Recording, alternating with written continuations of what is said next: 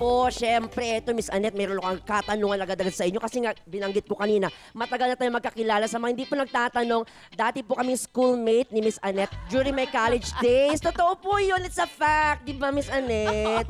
Na-kick out lang ako kasi kumain ako ng chalk. Ay.